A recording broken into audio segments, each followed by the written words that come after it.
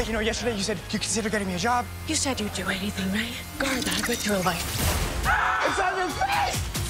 What the? Gavison, you are a superhero. No way. See, wait. It's time. This is your purpose. We can do this together. They don't get out much.